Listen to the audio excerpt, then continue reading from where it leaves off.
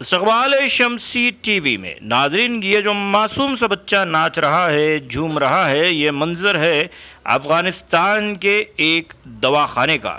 جی ہاں اس معصوم سے بچے کی خوشی کی وجہ ہے اسے ایک مصنوی پیر، ایک مائن میں اس بچے کا پیر جا چکا تھا۔ جس کے بعد کچھ تنظیموں کی جانب سے اس بچے کو ایک مصنوی پیر لگایا گیا، جس کی بعد یہ لڑکا خوشی کا اور مسرت کا اظہار کر رہا ہے۔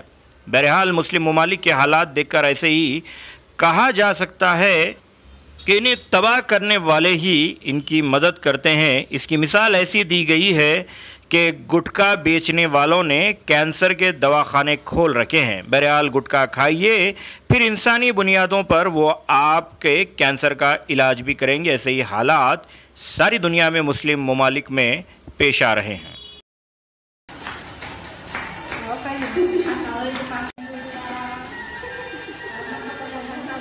چاچا